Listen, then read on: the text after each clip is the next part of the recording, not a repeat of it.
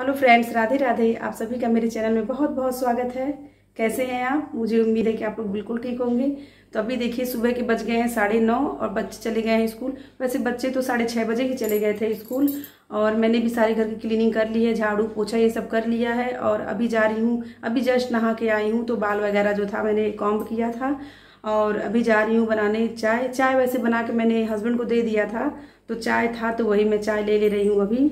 मैं चाय मतलब पी लेती हूँ, क्योंकि नहा के आने के बाद मुझे चाय चाहिए होता है। तो उसके बाद बनाऊँगी लंच बच्चे भी अभी आ जाएँगे थोड़ी देर में। तो मैं चाय गर्म कर लेती हूँ, फिर मिलती हूँ आप लोग से। Hello friends Radhe Radhe. आप सभी का मेरे चैनल में बहुत बहुत स्वागत है। और कै, कैसे हैं आप? मुझे उम्मीद है कि आप लोग बहुत अच्छे होंगे। तो अभी देखिए, सुबह के बज रहे हैं। साढ़े नौ या दस बज रहे हैं, घड़ी में आप देख सकते हो, पर घड़ी में उतना साफ़ दिखाई नहीं दे रहा है। और मैं आ गई हूँ सब्ज़ी कट करने। घर में सब्ज़ी नहीं थी हस्बैंड गए थे सब्ज़ी लेने के लिए, पर थोड़ा सा परवर था और आलू।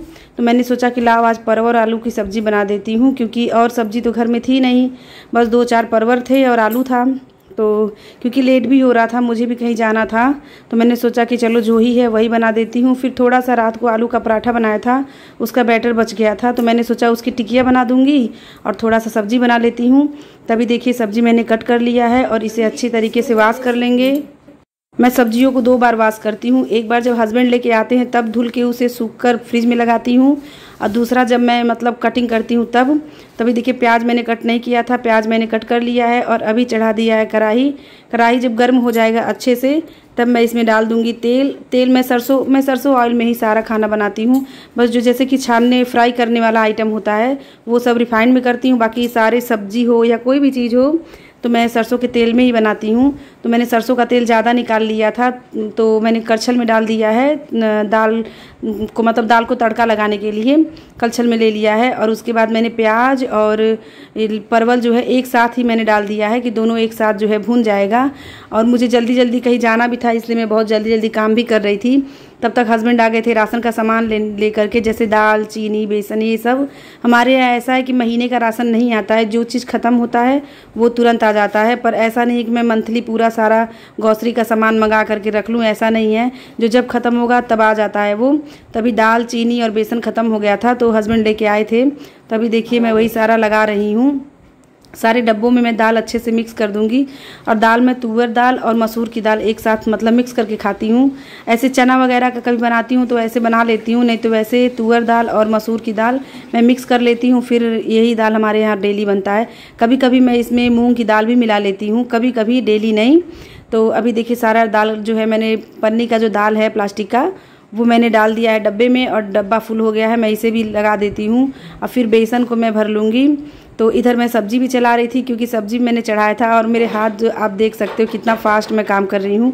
मतलब मैंने एडिट नहीं किया है, फिर भी मैं जल्दी जल्दी कर रही थी। और जो पुराना बेसन था वो मैंने एक बड़े कटोरे में निकाल लिया है क्योंकि आज मैं टिकिया भी बनाऊँगी।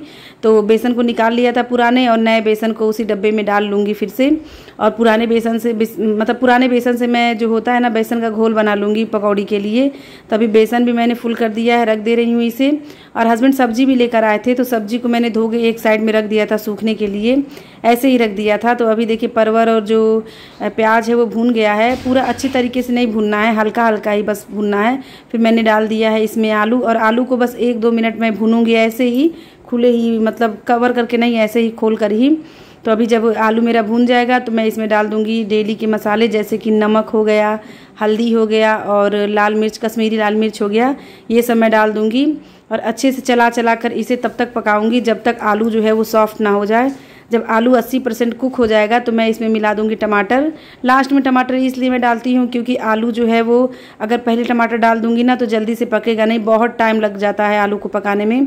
तो इसी वजह से मैं टमाटर लास्ट में डालती हूँ और अभी देखिए मैं इसे कवर कर दूँगी ताकि आलू जो है थोड़ा सा पक जाए। और यहाँ बेसन का घोल बना लेती हूँ तो घोल बनाने के लिए मैंने उसमें थोड़ा सा नमक डाल दिया है और हल्दी पाउडर डाल दूँगी। और फ्रेंड्स, मैं दिखा नहीं पाई आप लोगों को, मैंने जीरा, लहसुन और हरी मिर्च का मतलब पेस्ट तैयार किया था सिलबट्टे पे मिक्सर में नहीं तो उसे भी मैंने इसमें डाला था, पर मैं रिकॉर्ड नहीं कर पाई थी क्योंकि वीडियो बहुत लंबा बन रहा था तो इसलिए मैंने उसे स्किप कर दिया। फिर मैं थोड़ा थोड़ा पानी डाल के अच्छे से घोल बना लूँगी टिकिया के लिए।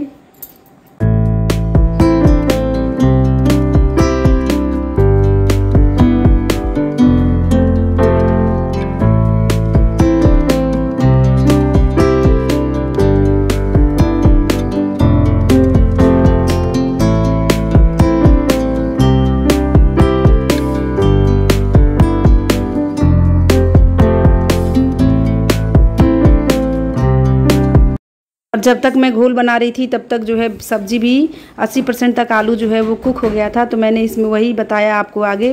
तो आज का जो मेरा दिन रहा ना पूरा जो है किचन में ही बीत गया। जितना टाइम मैं घर पे थी मतलब शाम को मैं निकली थी कहीं। तो और यहाँ पे आपको सब्ज़ी दिखा रही हूँ कि हस्बैंड देखिए क्या क्या लेकर के आए हैं आ, आलू तो मैंने टोकरी में लगा दिया है। परवर अरवी, टमाटर, बोड़ा मतलब पालक का साग, भिंडी, लहसुन, ये सब लेकर हस्बैंड आए थे तो धोकर मैंने पहले मतलब टोकरी में रखाया था, फिर यहाँ पर मैंने लगा दिया था कि अब फ्रिज साफ़ कर लूँगी तो इसको भी लगा दूँगी। और फ्रिज भी साफ़ कर लेती हूँ, ऐसे नहीं मतलब डीप क्लीनिंग नहीं कर रही हूँ, बस ऐसे हल्का हल्का हाथ फेर लूँगी, क्योंकि फ्रिज मेरा ऐसे ही साफ़ रहता है। मुझे मतलब मेरे फ्रिज उतना गंदा नहीं होता है, क्योंकि बच्चे भी मेरे उतना गंदगी नहीं करते हैं, मेरे बच्चे मतलब गंदगी कहीं नहीं करते हैं तो मेरा घर और मेरा मतलब जो भी चीज़ होता है वो सब साफ़ रहता है। और रुपेश तो मेरा कुछ भी देखता है ना तो वो तुरंत साफ़ कर देता है। तभी देखिए हल्का हल्का मैंने हाथ बस फेर लिया है फ्रिज में। उसके बाद मैं सारी सब्जियों को लगा दूँगी टोकरी में। जैसा कि मैं आप सभी को बता रही थी, आज का दिन मेरा पूरा दिन किचन में ही बीत गया। मतलब दो ढाई बज गए, मैं साढ़े नौ बजे से किचन में आई थी और दो ढाई किचन में ही बज गया, क्योंकि मैंने हल्का फुल्का जो डस्टिंग था वो भी किया, बस ब्लॉग में आपको दिखा नहीं पाई हूँ, क्योंकि ब्लॉग दिखाती तो बहुत ज़्यादा लंबा हो जाता। तो बस थोड़ा सा फ्रिज का मैं आप लोग को दिखा दे रही हूँ कि फ्रिज को हल्का हल्का मैंने हाथ मतलब फेर लिया था, डीप क्लीनिंग नहीं की है आज। फिर सारी सब्जियों को मैं लगा देती हूँ, जितनी भी सब्ज़ियाँ हस्बैंड लेकर के आए थे। पुराने टमाटर को साइड में रख देती हूँ और जो नए टमाटर थे तो उन सारे टमाटर को मैं आगे लगा दूँगी ताकि जो पुराने टमाटर हैं वो पहले ख़त्म हो, फिर जो नए टमाटर हस्बैंड लाए हैं वो बाद में ख़त्म हो। आज का दिन जो था, मैंने बहुत मुश्किल से रिकॉर्ड किया था वीडियो क्योंकि आज रुपेश छवि दोनों स्कूल थे और मुझे अकेले ही रिकॉर्ड करना था। तो बहुत मुश्किल से ही मैं रिकॉर्ड कर पाई हूँ। तो फ्रेंड्स आप सभी को ब्लॉग कैसा लगा? अच्छा लगा होगा तो लाइक शेयर सब्सक्राइब ज़रूर करिएगा। साथ ही बेल आइकन प्रेस कर दीजिएगा, जिससे कि मैं जो भी न्यू वीडियो बनाऊँ, उसके नोटिफिकेशन आपको मिलते रहें। तो प्लीज़ फ्रेंड हमें सपोर्ट करिए और ज़्यादा से ज़्यादा वॉच करिए हमारे वीडियो को ताकि हमारा वॉच टाइम जो है वो कंप्लीट हो जाए। तो प्लीज़ हमें सपोर्ट करिए। अभी जो है सब्ज़ी बन गई है तो इसे मैं मतलब ढक के ऐसे ही छोड़ दूँगी गैस पर ही। उसके बाद चावल वाश करने चली आई थी और देखिए प्लेटफॉर्म पर रखा हुआ है बैटर और आलू का आलू का बैटर और बेसन का जो है घोल।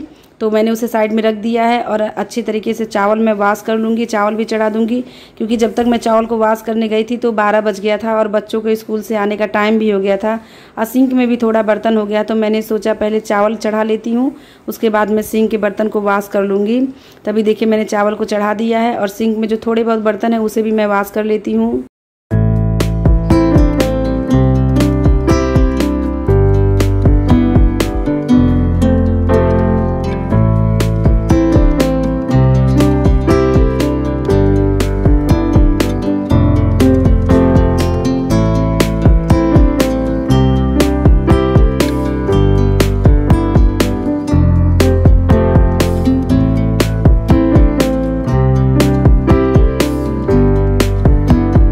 और अभी मेरे बर्तन भी वाश हो गए हैं तो उसके बाद मैं छत पे आ गई थी। आज मैं कपड़े डालना भूल गई थी।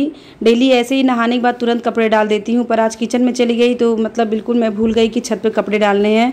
तो अभी बारह, साढ़े बारह हो रहा है और अब मैं कपड़े डालने आई हूँ। पर धूप आज का बहुत तेज़ था और कपड़े भी सूख गए थे। और आज हमारे यहाँ गर्मी बहुत ज़्यादा है तो देखिए बच्चे भी स्कूल से आ गए हैं। तो खुश था रुपेश, आज टेस्ट दिया था तो इसके टेन में टेन आए थे तो बहुत खुश था, वही मुझे बता रहा था। उसके बाद फिर मैं किचन में आती हूँ तो टिकिया फ्राई कर लेती हूँ, क्योंकि बच्चे भी नहा लिए हैं, और बच्चे जैसे स्कूल से आते हैं तो दोबारा नहाते हैं। तो वो लोग भी नहा लिए हैं हस्बैंड भी आ गए हैं तो सभी का मैं लंच लगा दूँगी। तभी टिकिया फ्राई होने के लिए मैंने डाल दिया है और बहुत टेस्टी टिकिया बनी थी। दाल चावल के साथ मुझे बहुत अच्छा लगता है। मेरे फैमिली में सभी को बहुत पसंद है तो कभी कभी मैं बनाती हूँ तो दाल चावल पर ही बना लेती हूँ। तो आज का हमारा लंच जो था, वो था आलू परवर की सब्ज़ी, चावल, दाल, चटनी और आलू का टिकिया। तो जब ऐसा कुछ आइटम बनता है ना तो बच्चे मेरे साथ ही खा लेते हैं। बस यहीं तक था। Thanks for watching friends